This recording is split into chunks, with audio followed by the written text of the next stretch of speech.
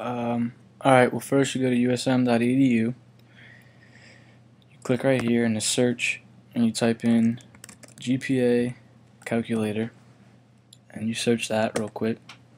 And the first thing that comes up is first year experience. Can click that one. And here's the actual thing where you type in your letters. Um, see, the number of credits is the number of hours your, of credits your class was worth. So three. You get a letter grade. Uh, so you've got two C's. You just hit tab and it'll go through all this. It fills it in automatically. Uh, this one's worth three. Another C.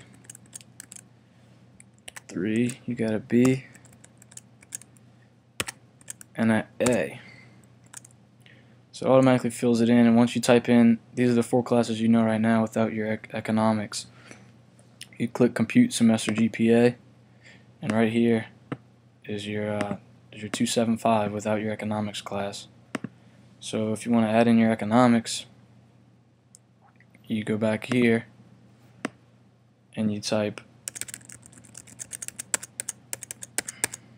3 because it's worth 3 credits.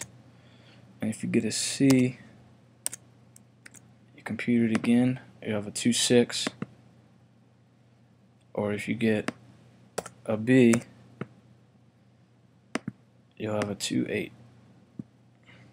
And you can change up any of these for the whatever classes you took, but that's what you told me you got, so if you would have got an A, you'd have a nice little 3-0, but oh well. That's how you do it.